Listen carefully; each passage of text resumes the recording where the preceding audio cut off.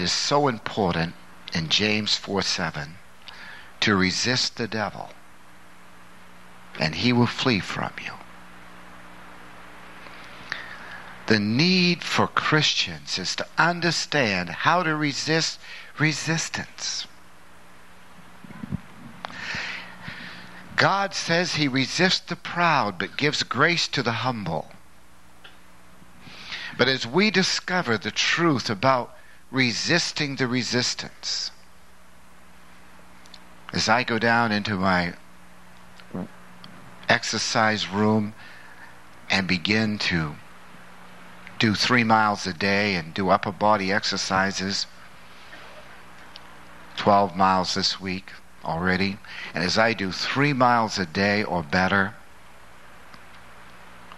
I have to resist the resistance. As I put these arms up for 30 minutes, I'm resisting the resistance. As you run, you're resisting the resistance. As you walk, you're resisting the resistance of walking. When a little baby crawls, they're resisting the resistance against them. When they take their first two or three steps and fall down, they're trying to overcome the resistance of gravitation. When an aeroplane goes into the air and overcomes the law of gravity with its law of aerodynamics, it is resisting the resistance. It's a strange thing today. You go to a doctor and they'll say, well, you should lose weight, which is good, and you should exercise, yes. But you should do everything possible to get rid of your stress.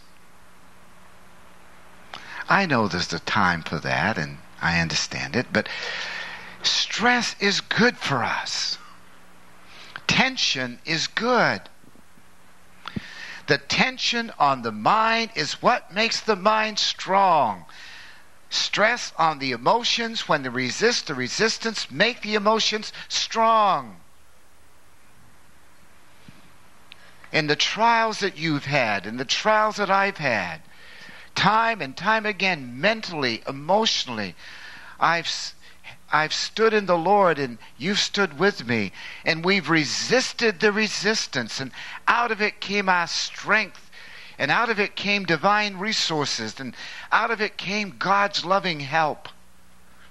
And what a thrill it was that when several battles were over and God gave us victory, we looked back and said, we resisted the resistance, and it made us so strong.